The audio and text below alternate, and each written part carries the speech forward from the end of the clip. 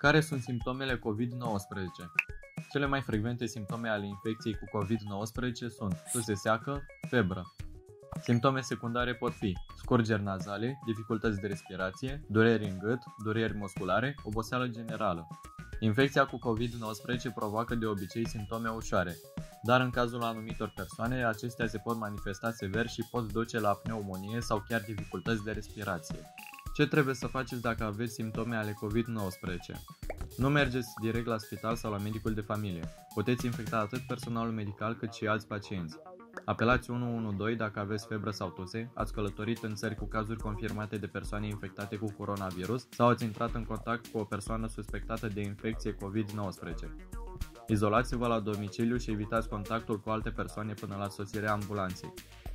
Când pot să apară simptomele COVID-19? Perioada medie de incubație, adică perioada dintre momentul infectării și debutul primelor simptome, este de 5-6 zile. Estimările curente ale perioadei de incubație variază între 1 și 14 zile. Există însă posibilitatea să fiți infectați și să răspândiți virusul fără a ști acest lucru. Pentru a preveni această situație, vă rugăm să respectați recomandările autorităților.